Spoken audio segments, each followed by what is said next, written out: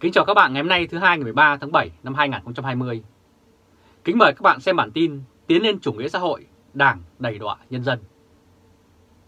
Thăm ông Trương Duy Nhất ở trại T14, luật sư Ngô Ngọc Trai đã kể lại tình cảnh trại giam như người trong lò nóng ở Việt Nam qua bài viết trên mục diễn đàn của BBC tiếng Việt.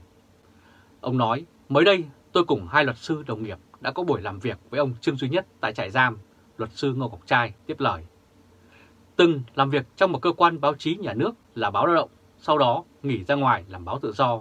Hiện ông Nhất đang bị giam giữ tại trại giam T16 nằm ở huyện Thanh Oai, ngoại thành Hà Nội, trong một vụ án liên quan đến tài sản. Đây là hình ảnh ông Trương Duy Nhất giơ tay chào người thân và bạn bè khi ra tòa vào hôm 28 tháng 2 năm 2020. Khi làm việc, chúng tôi thấy hai cánh tay bị can nổi các mẩn đỏ. Hỏi thì được biết trên người cũng có vài nốt như vậy và do thời tiết nắng nóng của buồng giam. Bản thân tôi hai năm trước cũng được một bị can bị tạm giam tại trại giam Cầu Cao ở tỉnh Thanh Hóa phản ánh cho biết. Phòng giam quá nóng, những người bị giam đã phải treo một chiếc chiếu trong phòng rồi buộc dây hai đầu co kéo đưa đi đưa lại tạo không khí thoáng mát cho phòng giam. Những điều đó cho thấy nhu cầu bức thiết của những người bị giam giữ là cần được lắp quạt điện, tạo mát. Thực tế hiện nay, tại các phòng giam giữ trên cả nước, đối với các bị can, bị cáo, người bị tạm giữ trong quá trình điều tra, truy tố, xét xử vụ án hình sự đều không được lắp quạt điện. Trong khi mùa hè nóng bức kéo dài nhiều tháng và có lúc lên tới 40 độ C thì đó thực sự là môi trường giam giữ đầy đọa con người. Và về vấn đề quyền con người thì sao? Ở một diễn biến khác, Bộ Luật Tố Tụng Hình sự vào năm 2015 đã quy định một nguyên tắc mới quan trọng tại Điều 8 về tôn trọng bảo vệ quyền con người, tức là nhân quyền. Đây là một bước tiến bộ lớn khi so với Bộ Luật Tố tụng Hình sự vào năm 2003, quy định nguyên tắc chỉ bảo vệ các quyền cơ bản của công dân. Và khi Bộ Luật Tố tụng Hình sự đã quy định như vậy, thì các hoạt động tố tụng liên quan cũng cần quán triệt tiếp thu. Liên quan đến hoạt động giam giữ thì cần yêu cầu nâng cao tiêu chuẩn tôn trọng quyền con người. Ví dụ như ngày xưa chỉ bảo vệ các quyền cơ bản của công dân là ăn uống, thì nay bảo vệ nhân quyền sẽ phải khắc phục tình trạng nắng nóng trong phòng giam. Đây là hình ảnh buồng biệt giam của tử tù, mỗi người đều phải mang cùng một chân. Và thực tế, bất hợp lý hiện nay là đời sống của người bị giam giữ đã phục vụ điều tra giải quyết vụ án hình sự, lại khổ cực hơn là phạm nhân đã thụ án khi hình thành án phạt. Trong khi người bị giam giữ chưa bị coi là tội phạm và phải chịu hình phạt vì chưa có bản án kết tội họ có hiệu lực pháp luật. Ví như phòng giam của người đã thi hành án, án phạt tù thì có tivi và quạt điện, nhưng trong phòng giam giữ bị, cạ, bị cáo thì không có. Luật cũng mới được thực hành vài năm, song thực tế chưa thấy có động thái nào từ phía các cơ quan pháp luật về việc nâng cao ý thức tôn trọng nhân quyền. Và lý do lâu nay không cung cấp quạt điện có lẽ do điều kiện ngân sách kinh tế khó khăn nhưng tới nay, nền kinh tế đất nước đã có những bước phát triển khởi sắc. Và điều kiện ngân sách quốc gia chắc cũng không đến nỗi không đáp ứng được cho một khoản kinh phí lắp đặt quạt điện trong phòng giam, trong khi nhiều khoản đầu tư khác lại bộc lộ sự không hợp lý, lãng phí ngân sách nhà nước.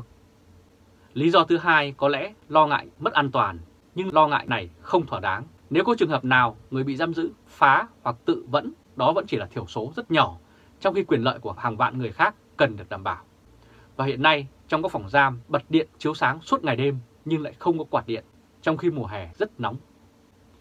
Đây là hình ảnh một buồng giam tập thể ở Hà Nội. Thực trạng này cần phải được thay đổi, môi trường giam giữ cần phải được cải thiện. Những người bị giam giữ cần được đối xử tôn trọng với đầy đủ quyền con người. Họ cũng cần được hưởng thành tựu của sự phát triển kinh tế xã hội. Và bên cạnh đó, luật sư cũng đã kiến nghị, thấy được nhiều vấn đề như vậy từ thực tế hành nghề bảo vệ quyền lợi cho khách hàng tôi đã soạn một đơn kiến nghị về việc đầu tư lắp đặt quạt điện cho các phòng giam. Đơn được gửi tới Tổng Bí thư Chủ tịch nước Nguyễn Phú Trọng, Chủ tịch Quốc hội Nguyễn Thị Kim Ngân và Thủ tướng Chính phủ Nguyễn Xuân Phúc. Để ý kiến nhận được sự quan tâm giải quyết, tôi đã đăng nội dung đơn lên mạng xã hội Facebook và kêu gọi các luật sư đồng nghiệp cùng ghi danh tham gia ủng hộ. Sau vài giờ đăng tải đã có hàng chục luật sư đồng nghiệp đồng tình với ý kiến trên. Và trong đơn cũng đã khuyến nghị các cấp lãnh đạo nhà nước quan tâm đến vấn đề giam giữ đề nghị chỉ đạo kiểm tra, giả soát thực trạng, từ đó ra chính sách đầu tư cải thiện, cung cấp lắp đặt quạt điện, tạo mát cho các phòng giam. Đây là một hoạt động nhỏ nhưng mang ý nghĩa lớn, được kỳ vọng sẽ đem đến cải thiện đời sống cho hàng vạn người đang bị giam giữ tại Việt Nam. Nhiều người đánh giá nội dung kiến nghị rất có tính nhân văn và đây là việc làm truyền tải đi những giá trị tích cực và một nét son nhân bản bên cạnh nhiều thông tin tiêu cực về muôn mặt tệ trạng trong đời sống xã hội. Đây là hình ảnh một ờ, trại giam tập thể tại Nghệ An. Thực tế trong đời sống hiện nay, nhiều người khi bị đối xử bất công, bức hại, thua thiệt thì kêu trời kêu đất hỏi công lý ở đâu, công bằng ở đâu. Trong khi cũng chính những người đó nhiều lúc lại đã làm những việc sai trái như chạy trọt, hối lộ, lót tay làm hủy hoại đi lẽ công bằng. Từ đó tạo ra một vòng luẩn quẩn trong đời sống xã hội về nguyên nhân, nguồn gốc của bất công, bất ổn trong xã hội. Nhiều người đã không may là nạn nhân của tội phạm, giết người, đánh chém hoặc xâm phạm tài sản người khác. Họ không biết rằng người phạm tội kia là tái phạm bởi vì người đó đã bị đối xử không như một con người, không đảm bảo nhân quyền trong thời gian bị giam giữ. Cho nên để xã hội bớt tội phạm thì cần phải giữ gìn nhân phẩm cho người ta bằng việc thúc đẩy cải thiện môi trường giam giữ. Việc kiến nghị lắp đặt quạt điện tạo mát trong phòng giam sẽ gián tiếp giúp bảo vệ sinh mạng, sức khỏe, tài sản của đông đảo người dân ngoài xã hội, giảm tránh nguy cơ tội phạm do tái phạm vì mất niềm tin vào trật tự và đạo lý xã hội.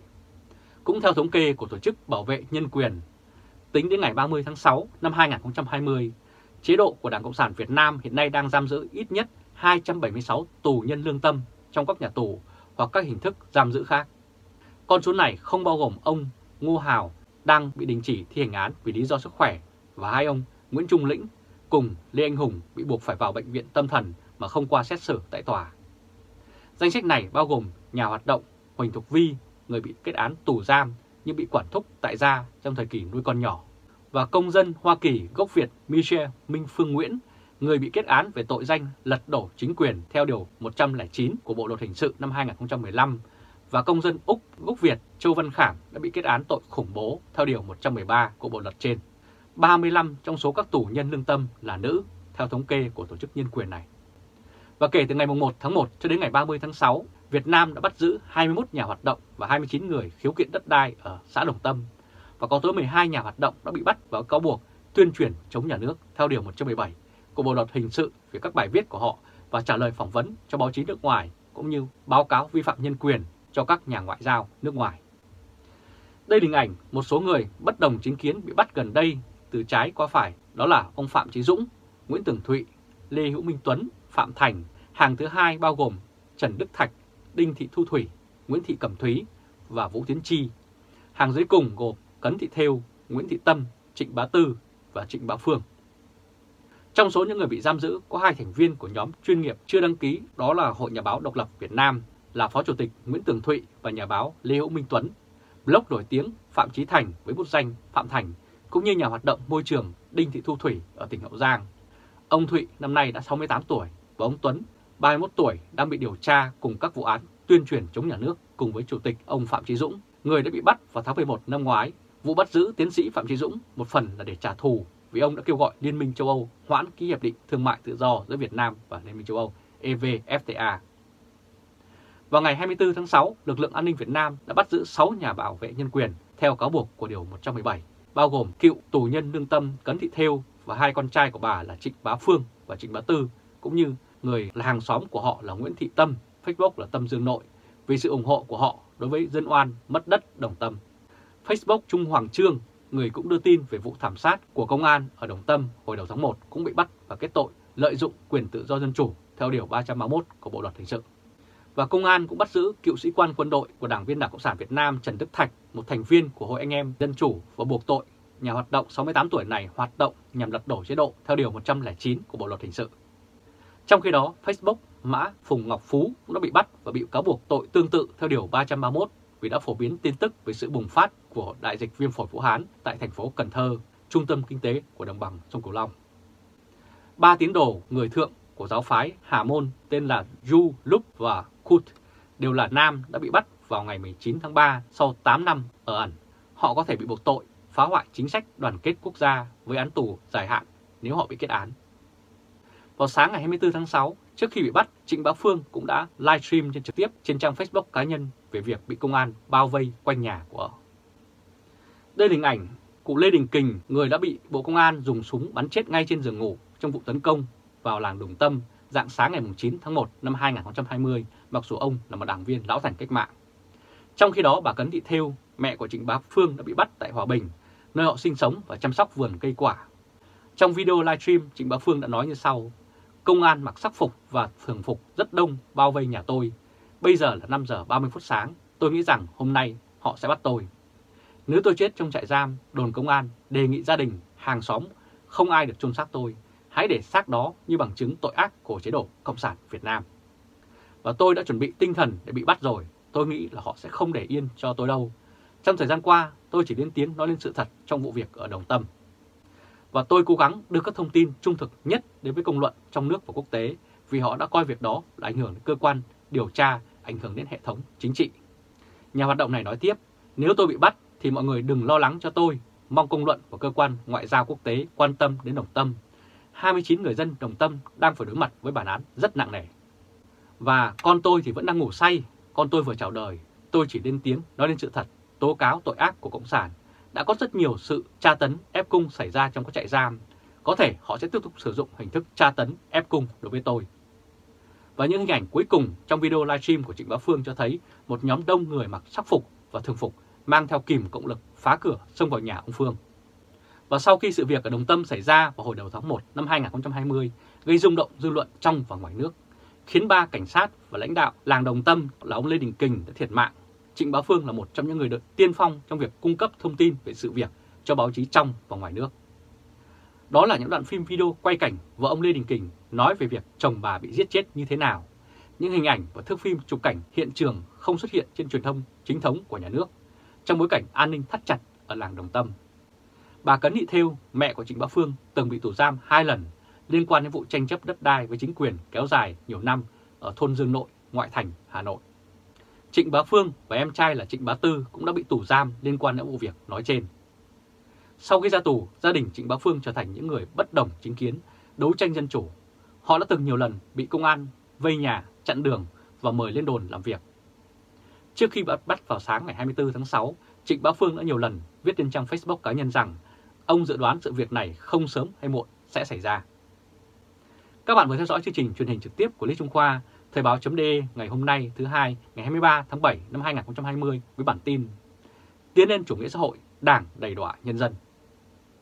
Các bạn hãy chia sẻ video này cho nhiều người biết và bấm nút theo dõi YouTube và Facebook của Thời báo.de để luôn nhận được những bản tin mới nhất, nhanh nhất và trung thực nhất. Từ Berlin, Cộng hòa Liên bang Đức, chào các bạn và hẹn gặp lại các bạn vào bản tin lần tới. Trung Khoa, Thời báo.de